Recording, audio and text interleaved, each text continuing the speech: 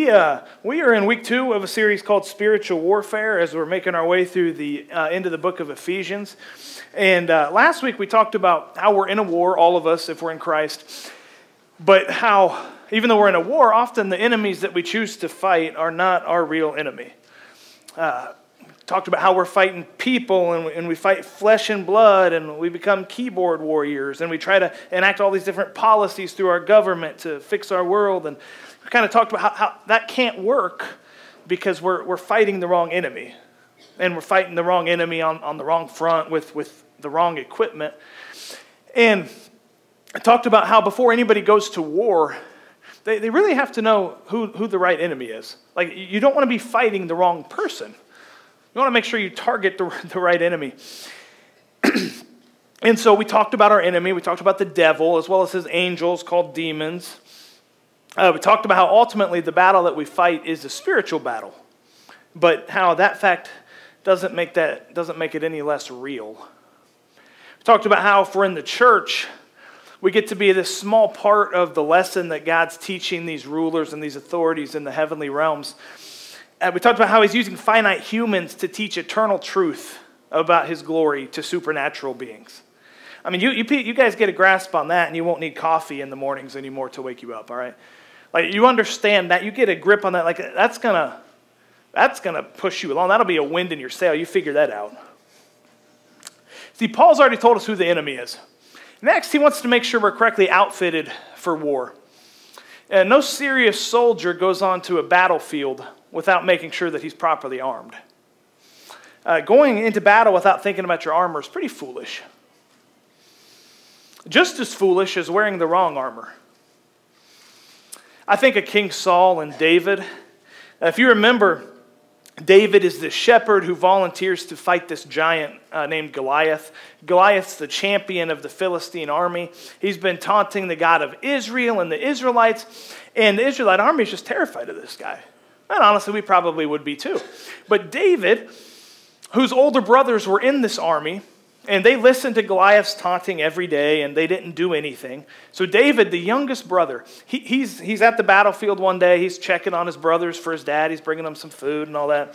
And David hears Goliath one day as he's standing out in front of the army, kind of taunting God, begging somebody to come and fight. Today, if you fight me and you kill me, the Philistines will serve you. But if I kill you, then, then you, you become our slaves. And David, youngest person probably out there, he hears that and he doesn't like God being taunted. And so, and who is this guy? I'll, I'll fight him. i will fight him. I'm not going to let him talk about God like that. And so he, he volunteers to fight him. And Goliath wasn't just any warrior. I mean, he was the champion. He was the face of the Philistine army.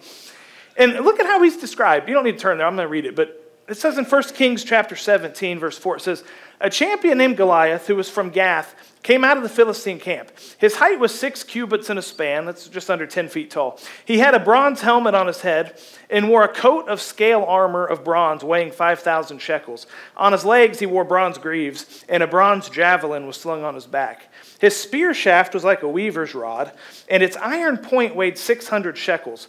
His shield bearer went ahead of him. All right, Goliath, this champion of the army, and he puts a lot of stock in his armor. All right, like there's a reason all that's described there. He felt protected. He's covered from head to toe. He clearly thought he's got the right armor on to face any kind of enemy. And then King Saul, he hears that David's going to fight, and, and he tries to get him to wear his own battle armor. But do you remember what the problem was with this? Saul's armor didn't fit him right. If he would have worn that armor, he would have been killed in a heartbeat because it wasn't tailored for him specifically. He wouldn't have been able to move quickly. He wouldn't have been able to see properly. He wouldn't have been able to defend himself properly because it wasn't his armor. Wisely, David chose not to wear that armor. Instead, he entrusted God to shield him. And he just goes out with his staff, he goes out with his sling, and he takes some stones with him. And in a battle, you got to wear the right armor because the wrong armor could be fatal for you. David's fight against Goliath likely would have been over before it really started if Saul had had his way, which Saul probably would have liked anyway. But so David goes out having refused the king's armor. And listen to what he says to Goliath. It's first, second, it's 1 Samuel 17, verse 45. He says, David said to the Philistine, You come against me with sword and spear and javelin, but I come against you in the name of the Lord Almighty, the God of the armies of Israel, whom you have defied.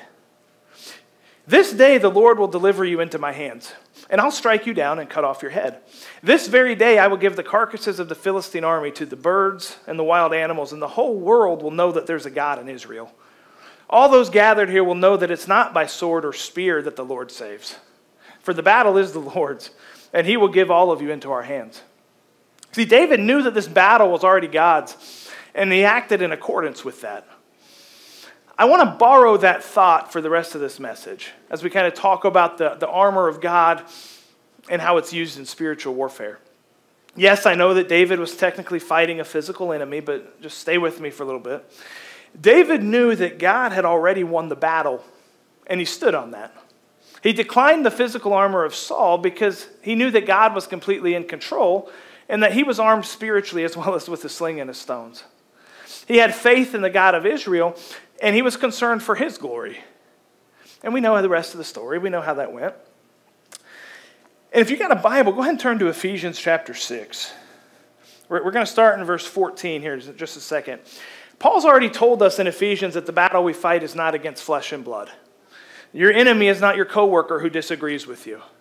Your enemy is not your spouse who might disagree with you, or, or the neighbor who disagrees with you, or, or the, the physical flesh and blood person who absolutely drives you nuts. That is not your enemy. Now, they might be used by your enemy, they might be a tool of the enemy, but they're not your enemy. And until we realize that, we're going to be at a loss. We're going to be fighting the wrong battle. See, we're not standing against a physical Goliath. Swords, guns, bombs, they don't have any effect against spiritual enemies. So, what do we do? We have to put on the right armor. The right armor that fits us properly, the, the right armor that's tailored specifically for us and specifically for a spiritual battle. And thankfully, we don't have to think too hard about this because Paul outlines it in Ephesians 6. Uh, starting in verse 14, he says this he says, Stand firm then, with the belt of truth buckled around your waist, with the breastplate of righteousness in place, and with your feet fitted with the readiness that comes from the gospel of peace. In addition to all this, take up the shield of faith, with which you can extinguish all the flaming arrows of the evil one. Take the helmet of salvation and the sword of the Spirit, which is the Word of God. If you recall from last week, or from earlier in this text, Paul's told us to be strong in the Lord and in his mighty power. This isn't a battle that we can win on our own. Like, we don't have the strength to defeat the enemies that we're fighting. God's already ultimately defeated them through the cross and the resurrection of Jesus, but they won't be thrown into hell until after Christ returns. And so Paul tells us to stand our ground. Stand your ground. Notice he doesn't tell us to advance. This is important. He doesn't even tell us to flank the enemy. He doesn't even tell us to attack the enemy outright. He tells us to stand our ground. God's already done everything. Advancing on the enemy is not up to us. What we're commanded to do is stand our ground, hold the position, hold the line. And Paul tells us exactly how we stand against our enemy in spiritual warfare. And he outlines the armor of a soldier. But we miss a great deal if we think he's only talking about the armor of a Roman soldier. See, when the original audience would have heard this, when, when they would have heard all these pieces of armor being read aloud, their minds would have thought of passages from the book of Isaiah where God is described as this great warrior. That they would have thought of this passage specifically in Isaiah chapter 59 and Isaiah is this prophet to this, he, he prophesies about the, the exile and, and what's going to happen. And in Isaiah 59, there's not a whole lot of hope in the passage. Here, here's what it says He says, So justice is driven back and righteousness stands at a distance. Truth has stumbled in the streets, honesty cannot enter. Truth is nowhere to be found. And whoever shuns evil becomes a prey. The Lord looked and was displeased that there was no justice. He saw that there was no one. He was appalled that there was no one to intervene. So his own arm achieved salvation for him, and his own righteousness sustained him. He put on righteousness as a breastplate and the helmet of salvation on his head. He put on the garments of vengeance and wrapped himself in zeal as in a cloak. According to what they have done, so will he repay wrath to his enemies and retribution to his foes. He will repay the islands their due. From the west, people will fear the name of the Lord, and from the rising of the sun, they will revere his glory. For he will come like a pent up flood that the breath of the Lord drives along. The Redeemer will come to Zion, to those in Jacob who repent of their sins, declares the Lord. As for me, this is my covenant with them, says the Lord. My spirit, who is on you, will not depart from you, and my words that I have put in your mouth will always be on your lips, on the lips of your children, and on the lips of their descendants, from this time on and forever, says the Lord. Chapter 59 of Isaiah just laments the fact that there's no justice with sinful men. There's no righteousness with sinful men. That's, that's the problem in our world. We're all searching for righteousness through politics and through uh, social justice and all this stuff. And there's no righteousness because we're all sinful. None of us are righteous. So God Himself puts on His own righteousness and He goes to battle. See, the picture for much of Isaiah 59 is that there's no hope for sinful men. There's no hope with sinful men. And then God steps into the picture with what we just read. He steps in and He brings justice, He brings righteousness. He's the only one able to bring salvation and hope. And that's what He does. He dresses like a warrior in all of his best armor. And now in Ephesians 6:14, Paul tells us to put on that same armor and to stand our ground against our, spirit, our spiritual enemies. See, it's called the armor of God because it's God's armor. Think about that. It's the armor that he himself wears when he goes into battle, and he commands all of us to wear it as well. And unlike when King Saul offered David his armor, God's armor fits us the way it's supposed to because it's from God, who alone knows what we need to stand our ground. Think about that for just a minute, all right? I, I, know we've probably read this armor of God passage since we were kids, and it's probably really familiar to all of us.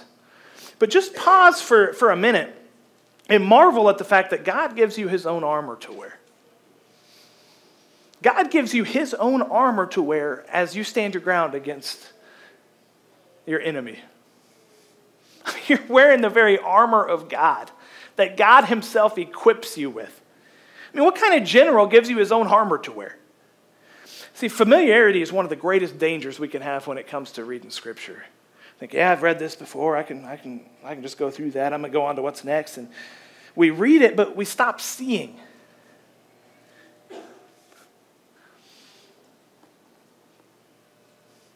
I mean, just think about this. Not only does God allow us to be part of this lesson that He's teaching these rulers and authorities through the church, but He even allows us to buckle on His own armor as we stand our ground. That's incredible. And after He tells us to put on the full armor, not just a piece here, not just a piece here, like the full armor of God, and we need it all. Paul spends a couple of verses outlining what each piece of armor looks like. And, and I'm going to I'm gonna talk about some of these more than I am others. But, and while it may be possible that Paul is, he's under house arrest, he may be looking at the guard um, who's, who's chained to him and kind of looking at each piece of armor that he's wearing and, and writing about it. But I, I think ultimately, Paul's thinking about the passage in Isaiah that we just read. And he starts with the belt of truth. He says, Stand firm then with the belt of truth buckled around your waist. Because he starts with that because it all starts with knowing the truth. The belt was actually the first piece of armor that a soldier would put on. And it was the belt that held most everything else in place for the soldier. His tunic would get tucked into the belt when it was time to go. His breastplate, which we'll talk about in a minute, gets tucked into the belt. The sword is attached to the belt. It makes some sense that Paul would start with the belt here because everything's connected to it. The belt holds everything else together. See, if we don't believe in absolute truth, we're going to have a hard time standing against the devil. Do we, do we believe what God says? Can we recognize lies? There is absolute truth. And standing in spiritual warfare starts with an acknowledgement as God as the source of absolute truth. The enemy's first question to Eve in Genesis 3 was Did God really say that? Did God really say? See, we have to realize the tactics of the enemy, or we're going to fall for him every time. He's been at his tactics for a long time, people. And if we're not grounded in the truth of God's word, we're going to fall for the lies of the enemy every single time. I believe this all starts with Genesis 1 and with creation. Like, do, do, we believe what the world teaches about billions of years and evolutionary thinking that comes from Darwin and others? Or do we believe what Scripture says? See, when we stop believing in creation, it's only a short distance before we start doubting other key doctrines as well. Did God really rise from the dead? Was, was Jesus really born of a virgin? Uh, maybe that's some, maybe that's just a figure of speech. Is the Holy Spirit really real? Like, it's only a short, short distance. See, one of the enemy's key tactics is to cast doubt on his word and, and cast doubt on what God really did say. This is why there's so many warnings against false teaching in the New Testament. See, we have to know the truth so we can recognize lies. This is so important because many lies sound like the truth. They're just a little bit different. And unless you really know the truth, you're not going to spot the lie. You need to know the truth so you can spot the counterfeit. Our world likes to say there's no such thing as absolute truth, which is funny because that in itself is an absolute truth. But there is absolute truth, and it's found in the Word of God. God created the world. There is a such thing as sin that entered the world. This sin separates us from God. God sent Jesus to be a sacrifice for sin, punishing sin on him while at the same time making us justified before him through faith in what Jesus did. God raised Jesus from the dead. God sent his spirit to live inside of us. He is going to come back one day. There will be judgment. The devil, all of his angels who we're talking about, everyone who follows after the way of the devil will all be sentenced in hell. Like those who've exercised biblical faith will forever live with God on the new earth that he brings, which will be free from sin. There is absolute truth, and it's here. Whether you believe it or not, it's up to you. That's why Paul starts with the belt of truth, because it holds everything else up. It holds everything else together. Without it, everything falls down, everything falls apart. Without the truth, we can never hope to stand our ground because we won't have any ground to stand. He moves on from the belt of truth and, and he goes to the breastplate of righteousness. Now, for a soldier, this would have been the piece of armor that covers their most vital organs. Starts here, goes down, covers your heart, your lungs, your intestines. This was a crucial piece of armor that's held in place by the belt. Now, here's what we need to see when we talk about this breastplate of righteousness it's not our own righteousness that protects us. We can only stand our ground against spiritual enemies when we're covered by the righteousness of Christ. It's so easy to give in to pride and, and think about all the things that we've quote unquote done for God. It's so easy to look at our own checklists and think that we are so holy. But listen to what Paul says in Philippians chapter 3 verse 7. If anybody could have boasted, it's this guy. He says, "Whatever were gains to me, I now consider loss for the sake of Christ." What's more, I consider everything a loss because of the surpassing worth of knowing Christ Jesus my Lord, for whose sake I've lost all things. I consider them garbage, that I may gain Christ and be found in him. Listen to this not having a righteousness of my own that comes from the law, but that which is through faith in Christ, the righteousness that comes from God on the basis of faith I want to know Christ, yes, to know the power of his resurrection and participation in his sufferings, becoming like him in his death, and so somehow attaining to the resurrection of the dead.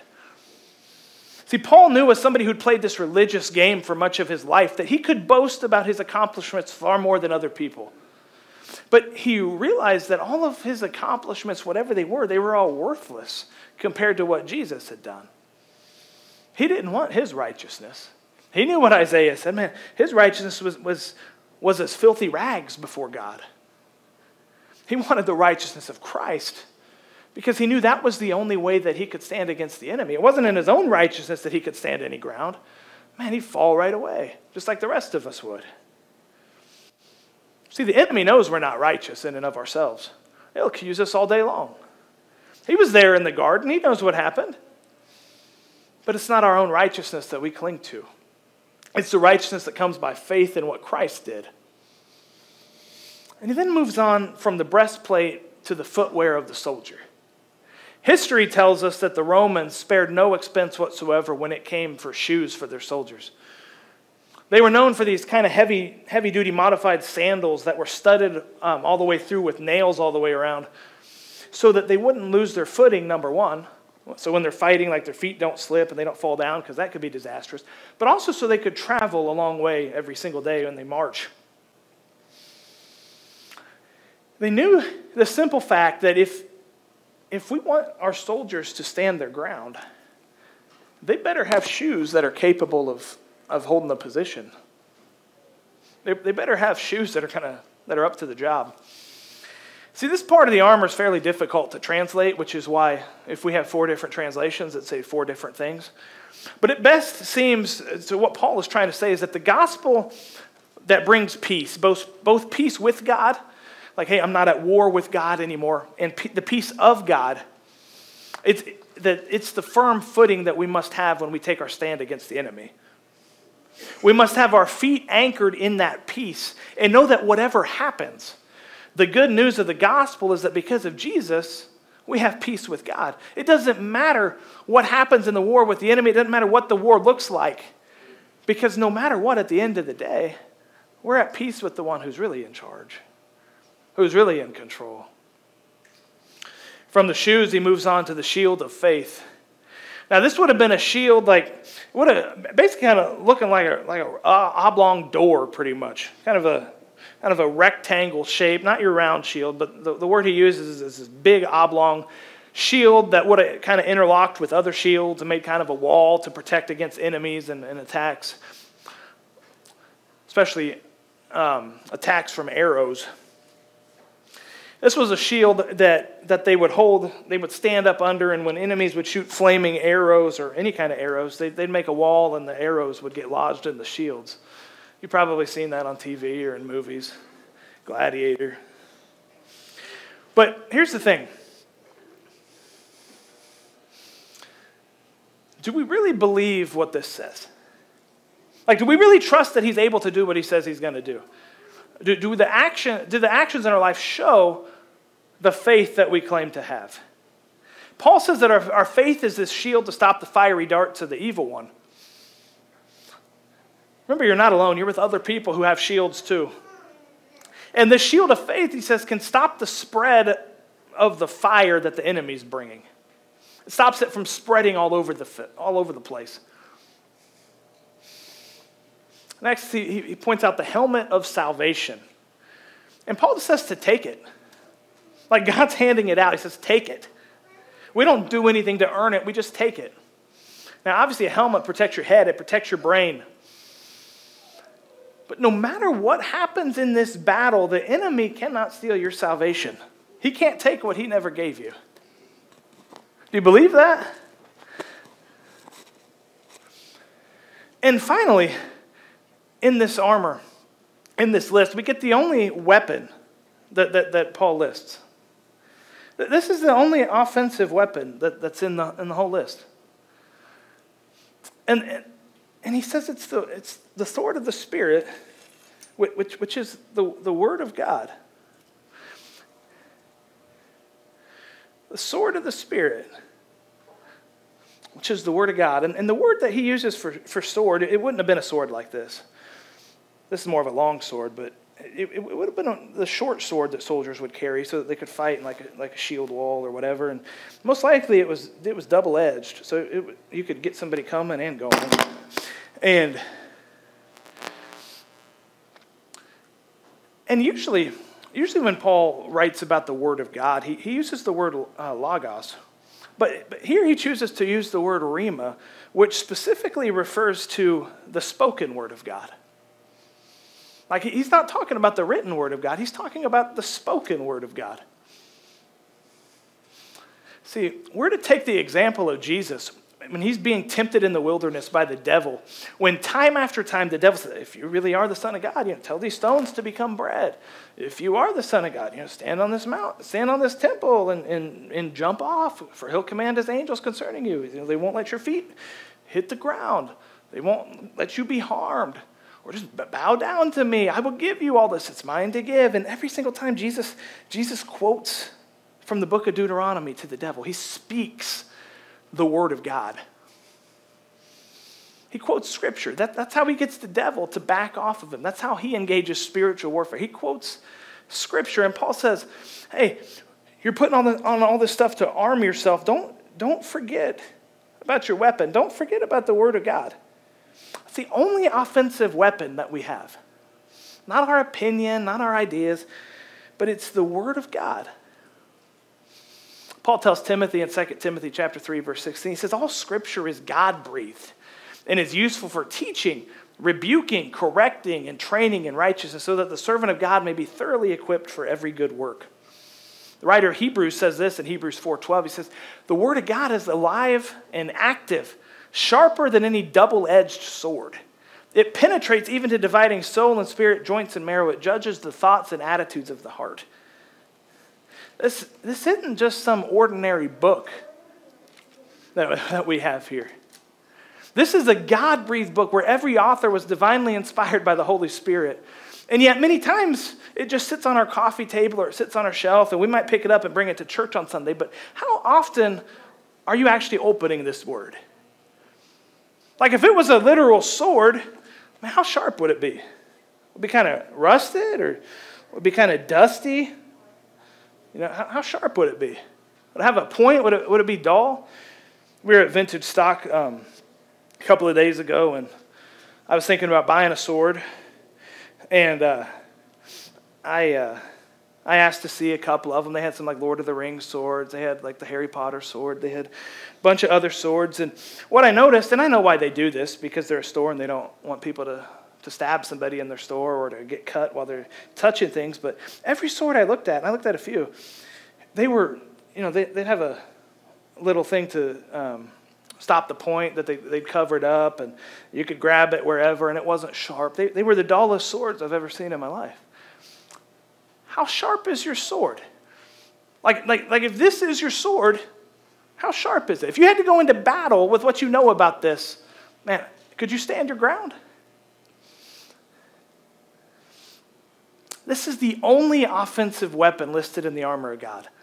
So, how, how familiar are you with it? There is a battle. We know who the enemy is. It's not flesh and blood, it's the rulers and authorities, the spiritual forces of evil in the heavenly realms. And the great news of Ephesians is that God has given us his own armor to stand the ground as we fight. It's not up to us to win the battle. Now, if, uh, if you're really an astute reader, you might have noticed that there's no armor mentioned for our backside. Did you notice that when you, when you read this?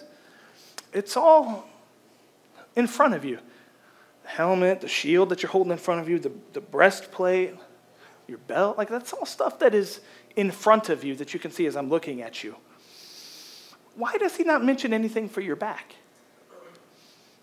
Here's my best take, and I might be wrong.